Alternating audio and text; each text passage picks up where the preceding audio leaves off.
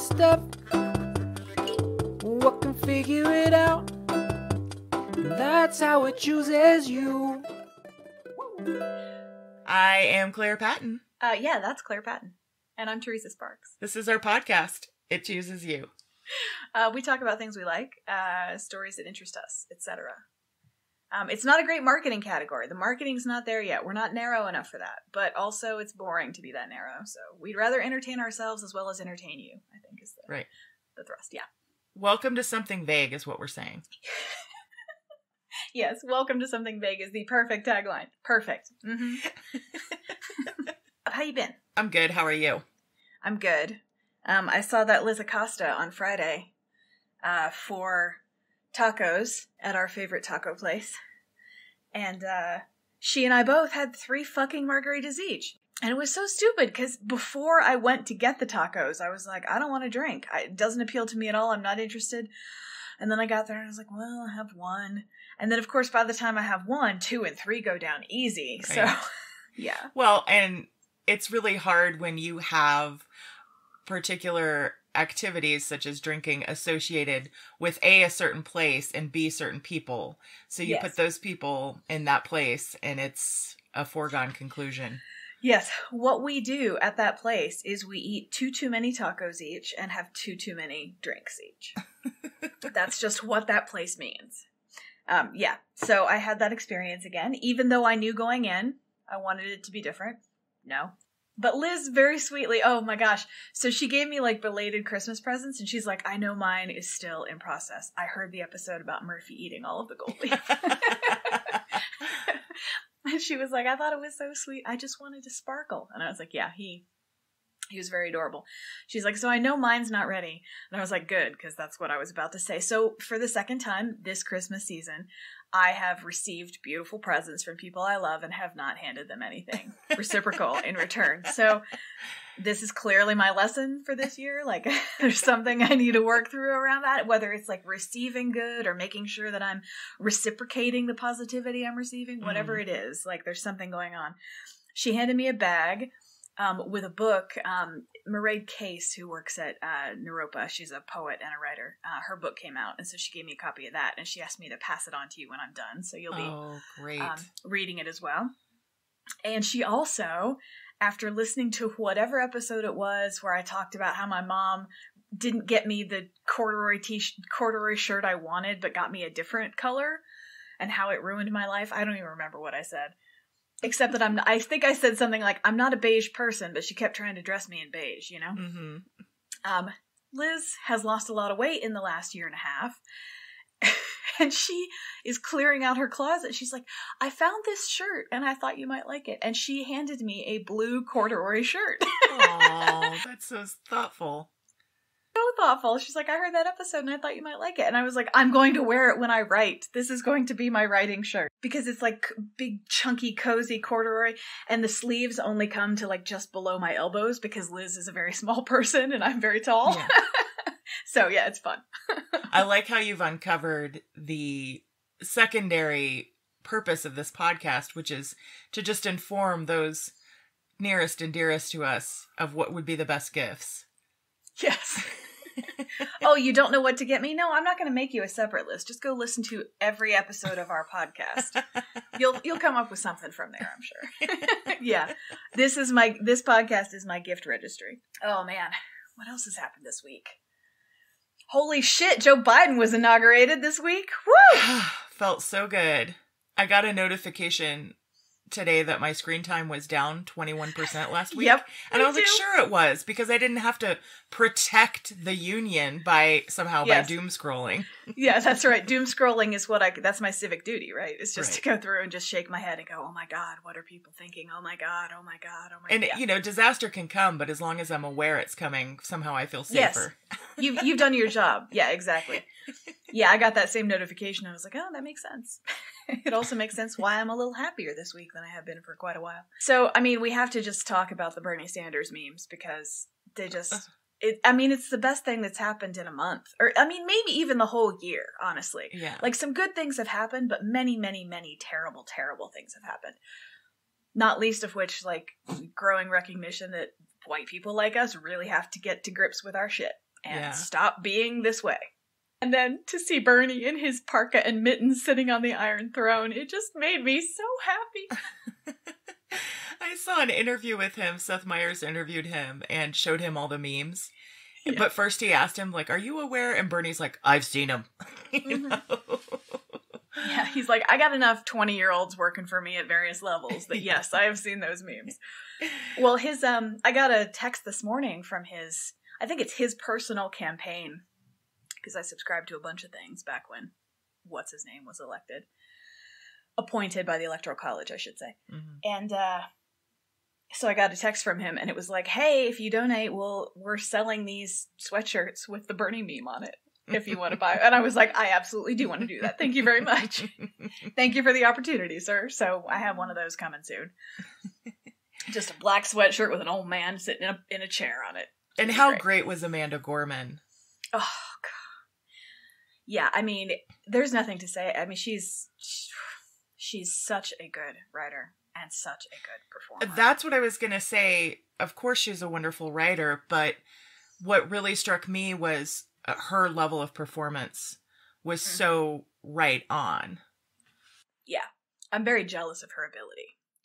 Um, she's yes, and this is not related, but my favorite thing about like all of the ladies who were there, I saw a meme that was them in their coats um, put next to each other like a rainbow flag, That's which great. was so like you know going from the the purpley of Michelle Obama, and then Amanda Gorman was in the middle in her yellow, and then the blue was Mhm. Jill Biden or whatever. Like it was really yeah, it was super cute. it was just also really nice to to watch the fashion and the meaning behind the fashion choices and have that meaning not be white supremacy. Do you know what I Yes. mean? I mean, like that's lack it. of caring about what's That's happening in the world. squash your empathy, kill your neighbor. Yeah, it's not that anymore. That's not the messaging of the federal government anymore. I. I said to Tim at one point, "Who's the fancy lady, fancy blonde lady in the white coat?" And he was like, "That's J Lo." I was like, "Oh." it took me a second because they kept showing her from the side, and I was like, "Who is that?" Who's the fancy blonde lady? I love that. Yeah, I mean, you know, when fashion isn't like, is this is this a coded fascist meme? Like, is this, you know, when you don't have to be concerned about that? It's um really refreshing to just look at a coat and be like, that's a very nice coat, and I like that color, and that can just be the end of it. Yeah, so there's a lot of relief associated with this week for me, for sure. And Mhm. also like relief, but also we have so much to do. And and Yeah. now we don't have the imminent threat of a fascist coup until the next election cycle, when I'm sure they will try this shit again because that's who they are. Uh, but you know, so now we have the chance to really like, okay, the electoral college needs to go. Okay, justice reform needs to happen right now, like today. Mhm. There's no reason for it to take any. Like, let's go. You know. And I'm encouraged by the fact that nobody seems to just want to celebrate and and have you know become complacent again. Everybody's aware that we're still in the shit. Yeah. And there's a lot of work to be done. So the things I saw that I resonated with the most were like, just give me one day. Just let me celebrate for 24 hours. Just give me 24 fucking hours. And then I promise I will be right back fighting the good fight and doing what needs to be done. But today I just want to be fucking happy, okay? I just want to drink three margaritas and eat too too many tacos. That's right. And go to sleep and feel terrible the next day. That's how I celebrate. What have you been doing? Same stuff. I have been a little bit in repair mode, as tends to happen in January. See episode on visible mending Mhm. and Bondi Rescue. Uh, to varying degrees of success, and we've we've redone our room. Our we call it turning the dark eye of Sauron to various areas of the house. So it's not dark, it's good. It's organization. We've been turning the dark eye of Sauron all over the house. So it's getting more and more organized. We've gotten rid of a lot of stuff, which has been great. So everything has a place. And when it when some everything has a place, you're much more likely to put it in that place, right? That's right. Yeah. It has a home. This lives it there. feels good. I've been eating a lot healthier this week, more vegetables, less carbs, less sugar. And I do think there's a direct correlation between what's happening in my house and the way I'm treating my body. oh, for sure. And then also a direct correlation between what you put in your body and how you feel. Yep. There's that. Yep. Well, I this week um I've wanted to talk about this for a little bit because I've known this story it's a relatively uh, recent thing that happened, but I watched a documentary on it, and as I was sort of thinking about what I'm in the mood for, I think I'm in the mood to just shit talk a corporation. So that's what that's what I'm doing. um, we I covered the Costa Concordia debacle and uh, tragedy uh, a few weeks ago, and I'm I'm going to address another Royal Royal Caribbean associated um, loss of human life Mm. um, today. So it's kind of a bummer. Um, I thought I might do something happy, but but no, I actually like I feel supported by the things that are happening in the government. Um, and so because I have that support, I'm like, well, now is the time to destroy corporations. That's just my personal thing. Right. and not all of them. Some of them might be okay. But you know, in general, when it's um the question is between human life and profit, they choose profit.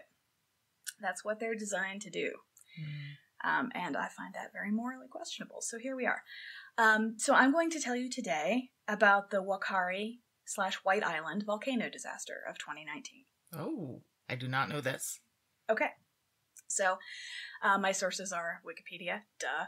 60 Minutes Australia did a great 30 minute piece on it. Business Insider had a great article. There's an article called The True Story of the White Island Eruption uh, by Alex Perry for Outside Magazine. And then Charlotte Greenfield for Reuters um, did some did an article on uh, Maori practices that I used here, uh, and Bill Chappell commented for NPR. So all of those are are in here.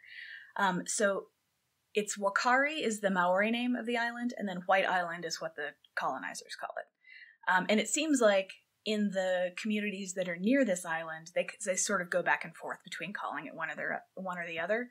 From the sources I've read, most of which are by white people, it seems to go back and forth. I don't know if that's actually how they view it or not, but um, I kind of use Whakaari and White Island interchangeably because of that.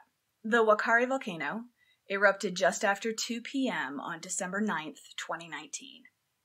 47 people were on the island at the time. Of these people, 38 were passengers on a shore excursion from the cruise ship Ovation of the Seas, which is a Royal Caribbean vessel. Noticing the eruption from the mainland shore, three commercial helicopter pilots conducted rescue missions to the island in their helicopters, bringing back 12 survivors. Whakaari is about is an island that's about 40 miles off the coast of New Zealand's Bay of Plenty, um, and the island is about 150 miles southeast of Auckland, and Auckland is in the northeast part of New Zealand. Uh, it's a small island; it's only about 800 acres, uh, and it's really just the cone of a submarine volcano. That's what the island is: is the top of a volcano. Oh, okay. So it's not like it's not like Hawaii where there's an island and then there's a volcano on the island. This is a volcano that is the island. Right. I bet it's beautiful there. It looks like the moon. There are Mm. hot gases escaping from cracks. There's no vegetation. It was a sulfur mine until the 30s, and so it's very much an alien landscape. Like it does not support But life. people do live there? Nobody lives there. There there used to be a sulfur mine there. There's an abandoned sulfur mine. Um, and only it's privately owned right now by the trust of a family of a stockbroker who bought it in the 1930s and then refused to sell it to the government when the government was trying to consolidate all that stuff. And instead, they made it like a special a land trust essentially, and they are responsible for permitting the people who are allowed to come to the island. So it's privately owned. Tours lead people on this island. Uh, you the uh, dock at the island is basically so if you look at it like the the crater where where the magic happens, right? The actual.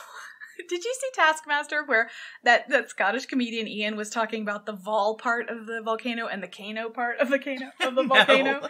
Okay, so Iain Stirling is his name, and they they were tasked to build a volcano, Okay. and he was talking about what he had chosen to do, which failed, and he's like, I focused too much on the vol, and I didn't pay enough attention to the Kano, or something like that. so the vol part of this volcano um, is a crater that's sort of a 20 minute walk from shore okay. and you walk up a slope, right? You're essentially walking up where the magma would flow down Totally. if it erupted. Like Right. that's how you get there. So tours lead people on a hike up to the crater and then a walk around the rim. The rim is only about two thirds of a mile in diameter, so very small, very small island. And from the rim, you can look down into an acid lake that takes up part of the crater. Whoa, that's cool. Yeah. I mean, very intense, right? And so, like, New Zealand is big with adventure tourism. And the whole thing of adventure tourism, which you and I have excoriated in podcasts in the past, is that you want to feel more alive by being a little closer to death. Right. right? This is the argument that uh, Alex Perry makes in Outside Magazine. That's why adventure tourism is a thing, because you want to feel enlivened without actually being in danger. So tourists were drawn to this island and this tour uh, because it's such a short walk from the dock to the crater. They knew that they would be looking into a semi-active volcano just a few minutes after arriving on the island. It doesn't actually require any effort on their part either because it doesn't look like it's much of a slope. And so instead of having to do this thing where you climb a volcano and have to climb the mountain and it takes several hours and all of that, you basically can just like drive up to it and park and get out of your uh, get out of your car slash boat and just take a little walk and then you're there. Yeah, I mean, this is the volcano tour I'd go on for sure. Exactly. As I was reading, I was like, oh well, that's reasonable because it's easy. Yeah. Well, I'm going to laugh a lot about some of these things, but I just want to make it clear I am not making fun of the people who chose to do this. Right. Um, like, we make our choices, and they thought they were making an informed choice. And some people were very hard on them, like, well, what did you expect going to a volcano? And I was like, well, sure, what did you expect? But also, you can do dangerous things in a safe way. And they were working with established systems, and they assumed they were being informed about the realistic safety implications of what they were doing, right? Well, to be honest here, if it were me and there was an established tour there offered by a company, I would assume it was safe. yeah. You know, I would rely on governmental regulation and the history of the company as being safe. So I I would have had no problem going on something like this myself. That's right. I'm the kind of person who, like, I understand the need to do personal due diligence, but I don't ever do it. So I'm exactly like these people. I would have gone and not even thought twice about it. Okay, so we have firsthand accounts of the eruption from Stephanie Browitt, who was on the tour with her father Paul and her sister Crystal, and from John Kozad, who was there with his son Chris. These two people, Stephanie Browitt and John Kozad, were interviewed by Sarah Abo for 60 Minutes Australia. Um, cell phone footage released to 60 Minutes Australia shows that at least one tour guide, there were a couple tours on the island at the time, at least one tour guide knew that the volcano was active and that there was danger. Um, the footage shows gases escaping from cracks in the ground alongside the trail to the crater rim, and those those plumes of gas are getting very high. Uh, and the guide says, "Yeah, the volcano risk level is at a level two right now, and level three is an eruption. So we're at a level two, heading to a level three. And then he cuts the crater walk short because he starts to get concerned. Um, seven minutes after the Browitts reach the mouth of the crater, the volcano erupts. Okay. As black smoke started pouring out of the crater, they took a selfie. And we have Wow. that because their phones survived. So I'm not being shitty. I'm usually shitty. But again, I'm not being shitty in this case. Like, they didn't realize. They're not volcanologists. They don't know. And they'd only Yeah. literally just been told there might be a danger. Right. So right after that happens, they hear the front tour guide yell, run. Oh God. Oh my Yeah. God. Ah. Yeah. The ash plume from the eruption rose 12,000 feet into the air. And it was powerful enough to knock a 1.5 ton helicopter off its landing pad and completely fold its rotor blades. John Kozad said he heard a sound like a giant tree splitting in half, like a giant crack. Mm. And then he and his they heard the sound of rocks hitting the ground all around them. Visibility on the ground went to zero, and everything was hot. They could feel their skin burning, like white hot crystals were hitting their foreheads. He says he remembers hearing himself reciting the Lord's Prayer. He's like, I don't I didn't think I was religious, but I sort of like realized I was saying it as this was happening.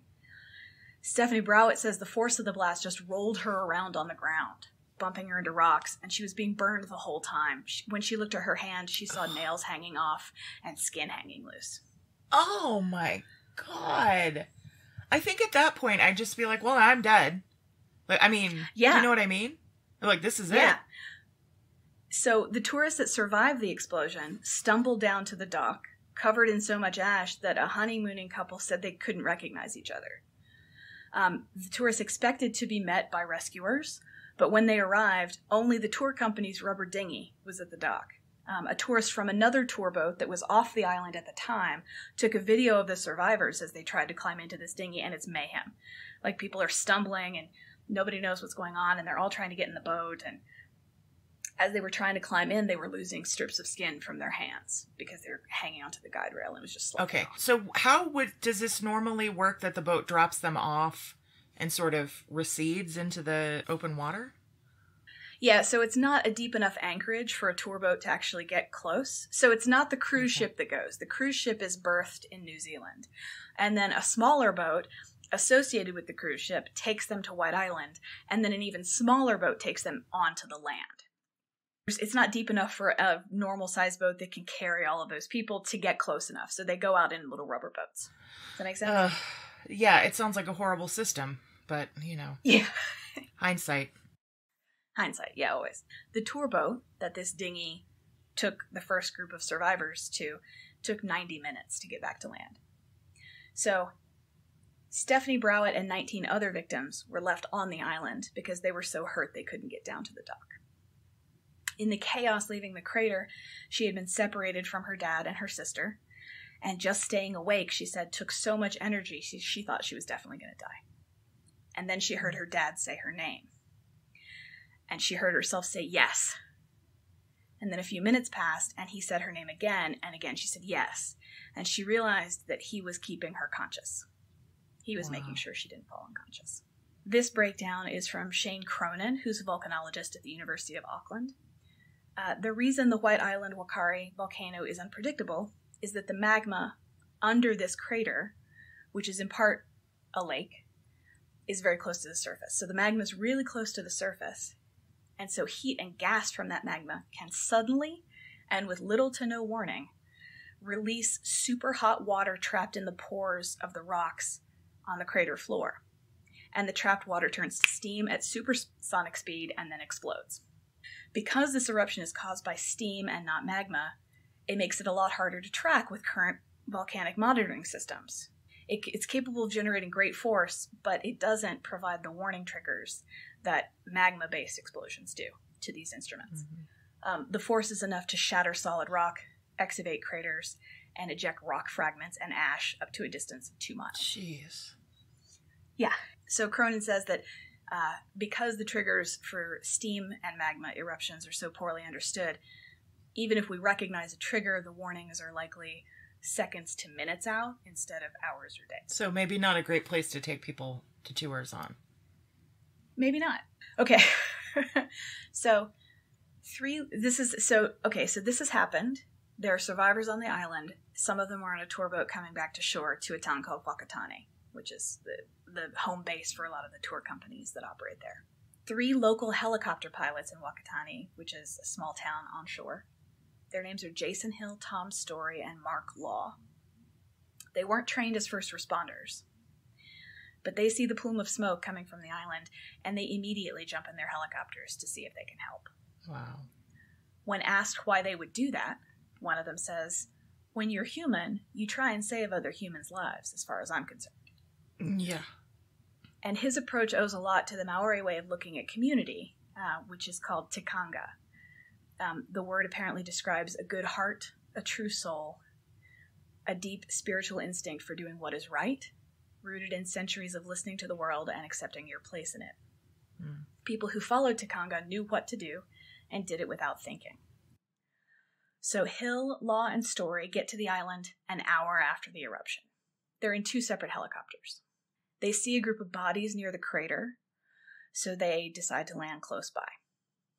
They strap on gas masks and run a few hundred yards through shin deep drifts of hot ash to get to the injured. They saw gruesome burns. Victim's skin had been burned black, anything exposed was burned. Um, some people they found were unresponsive, but most were alive, but dazed and incoherent and asking for water.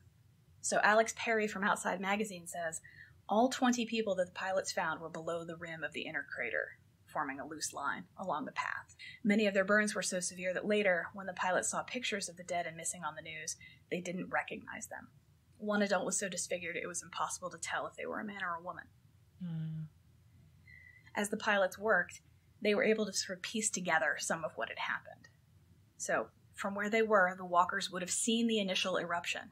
Behind a boulder, Story and Law came across a small pile of phones and tablets. And video from those phones and tablets would later confirm that several people had stopped to film the steam cloud. Mm-hmm. What none of them could have seen until it crested the lip of the crater and consumed them was the horizontal blast of rock ash and acid mist. Many injuries were to the front side of their bodies, suggesting that they were facing it when it hit. Mm-hmm. A police district commander for the Bay of Plenty, the area where Whakatane is, said uh, in this ash was hydrochloride, hydrofluoride, and sulfur dioxide. Mix those with water, and you get hydrochloric acid, hydrofluoric acid, and sulfuric acid. Oh my goodness. You've got superheated gases, you've got the blast, and you've got the acid atmosphere. Just imagine what that does. What a horrible way to go. Along with the burns, the pilots found evidence of the eruption's force. Uh, Law noted uh, numerous shrapnel injuries on his patients, or victims, I guess, that he helped, uh, and signs of internal damage. The pilots also found signs of, as Alex Perry says, courage and sacrifice. A guide's medical kit was sitting among the group, and it was probably carried there by one of the tour group leaders from Whakatane after the blast. Many of the injured were wearing gas masks that looked to have been placed on them after they'd lost consciousness. The footprints described almost unbelievable heroism. On top of the ash, the prints had to have been made after the eruption and seemed to indicate that one of the tour group leaders, Hayden Marshall Inman, had backtracked and tried to lead his group away from the crater and toward the ocean. The position of his body and those who were near him suggested that in the darkness of the ash cloud, they were following the stream downhill. Then Jason Hill gets a call. There's no cell service in the crater, so another helicopter pilot had been circling the island, passing messages between the three men on the ground and emergency services on shore. That pilot tells Jason that help isn't coming. What? There's a fleet of 11 search and rescue helicopters and first responder crews to staff them, sitting on the ground in Whakatane. But the man in charge, Dr. Tony Smith, a man who I hope was fired at least twice and is facing criminal negligence charges, decided not to go to the island because the information he had was that it wasn't safe to fly there. No shit, bro. What in charge? In charge? How? Like of of the township? Uh, So I think he is the director of St. John's Medical, which is uh, the group that develops procedures and guidelines for the ambulance sector in New Zealand. So he's in charge of the council that decides how first responders will be deployed. Also, just to be clear, there are survivors on the island at this point that need to be taken off and and obviously brought to the hospital. That's right. At this point, there are survivors on the island, and he refuses to go there. Wow. So his organization was, quote, unwilling to put rescue crews in danger. Sarah Abo, who interviewed this piece of shit for 60 Minutes Australia, absolutely refuses to let him off the hook. She's Mm. amazing. You should watch this thing. she asks, Were you expecting untrained pilots to do the rescuing? He says, Absolutely not. And then she cuts back with, Yeah, but that's effectively what you did, right? nice. She's great. So Hill, Story, and Law decide that if they're it, they're it, and they're going to get these people off the island one way or another. So Hill carried Stephanie and her sister Crystal to the helicopter, told them they would be okay, and took off. Now he's he's flying the helicopter, but he's also talking to them and trying to keep them conscious the whole way back. Jesus Christ. Yeah, like yeah. So Stephanie says she was in such bad shape that if he hadn't talked to her and made her respond, that she probably would have lost consciousness and maybe died. I mean, I'm not a helicopter pilot, but if I were, do you know what would probably be hard? Is to try and care for fatally, potentially close to fatally injured people and trying to, like, fly a helicopter at the same time. Well, and this is why these guys are so amazing. Like they're not trained first responders. They only had first aid kits on the helicopters, which it, like the injuries they were seeing so far went beyond their capability to do anything meaningful about it, Yeah. right? But they went anyway. So, 2 hours after the eruption, Hill lands at Whakatane Hospital with Stephanie and Crystal. Um, no Im- official emergency response team has yet been dispatched. This is 2 hours after the eruption. So Stephanie Browitt and John Kozad were put into medically induced comas. Stephanie found out later that her sister Crystal had died from her injuries, uh, but she found that out after she was brought out of her coma. Uh, and John wasn't aware that five days after the eruption, his son Chris had died. So when he comes out of his coma, he learns that he missed his son's funeral. Hmm. Four weeks after the eruption, Paul Browitt, Stephanie and Crystal's father, dies of his injuries. Stephanie Browitt has had eight fingers amputated and more than 20 operations. The survivors required so many skin grafts that New Zealand put out a global order for 33.8 square meters of skin, the equivalent of 16 bodies. Oh god. So finally, more than two and a half hours after the eruption, a helicopter and rescue team that included Dr. Tony Smith landed on the island. And at that point, all of the survivors had already been evacuated. Mm-hmm. So, in this interview in 60 Minutes Australia, Dr. Smith says he knows for sure, for sure, without question, no doubt. Now, first of all, does that sound like someone in the sciences to you? For sure, No. for sure, without question? Yeah, okay. So he says he knows for sure, for sure, that even if his team of first responders had gotten there earlier, they would not have been able to save any additional lives. You can't know that. Yeah, as my mother would say, what a crock of shit. Because not two sentences later in the same interview, he says, when he was asked about what might have happened to Stephanie Browitt had she been picked up earlier, oh, uh, he, like he turns into a scientist again. He's like, oh, it's impossible to know what would have happened, and he can't possibly speculate. So he's fully certain he couldn't have saved anyone, but he can't possibly speculate. There are too many factors for him to speculate about what might have happened if she had. I hate this dude. so Yeah. after hearing from that fucking guy, it's time to look at some cultural influences here. When they were asked why they'd stopped rescue crews from flying to White Island immediately after the 211 eruption, a spokesperson for the National Air Desk declined to comment.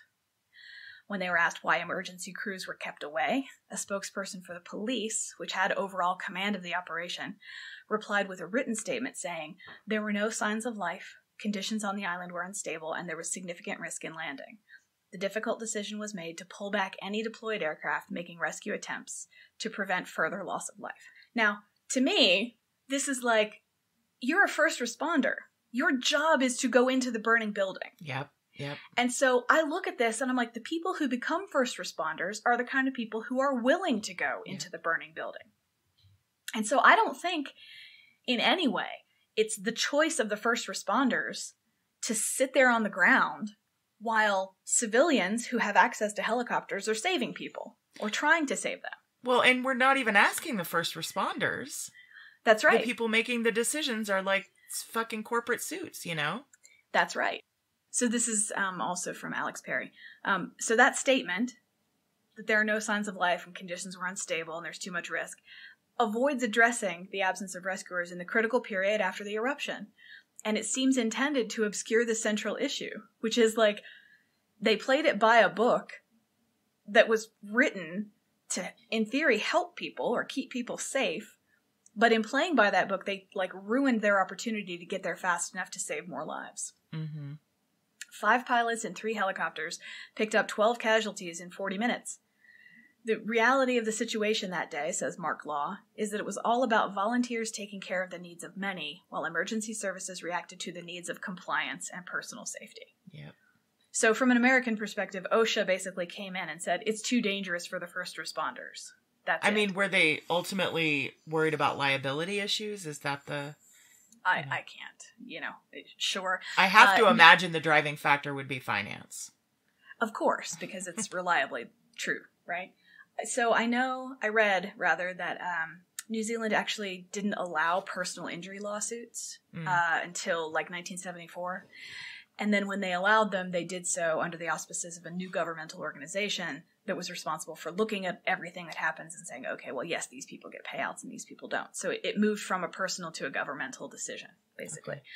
But it's why adventure tourism is such big business in New Zealand because the people who run the tour companies can't be sued if people get hurt, Mhm. right? The government might pay out if you are injured in some way, but the tour company operators aren't liable. I thought I knew what I thought about it, but then as I was reading the rest of this, I, I became confused, which is great. I'm sort of reconsidering preconceived notions here. So the reason I don't know what I think is because the elders of the Ngati Awa, um, which is the uh, largest Maori tribe in the area, they're the owners of White Island Tours, and they took the lead in the disaster's aftermath.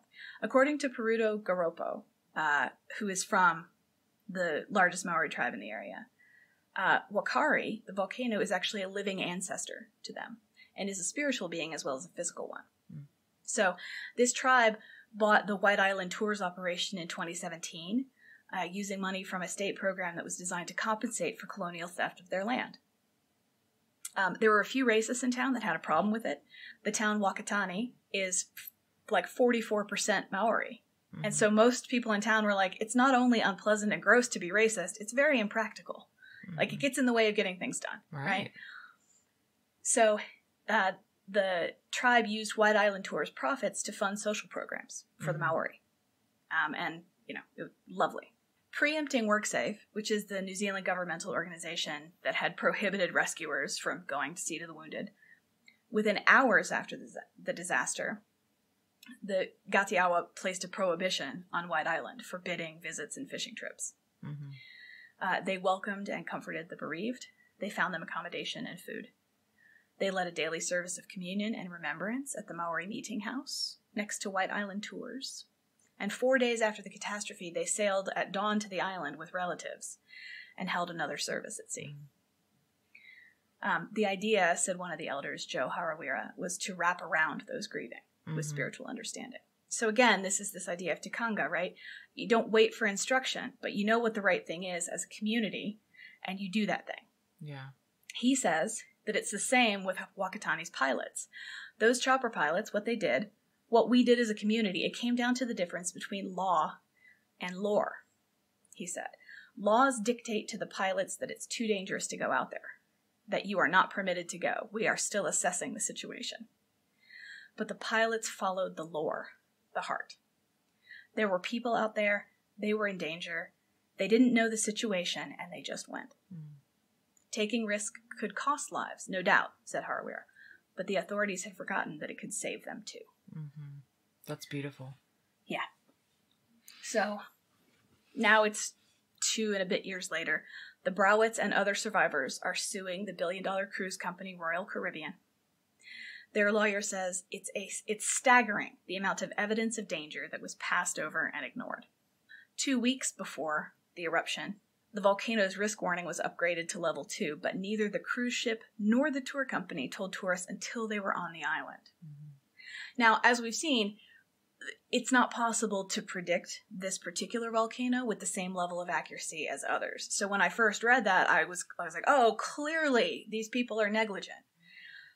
But the last time this volcano erupted was in 2016, and at that point it was only at a level 1 risk warning.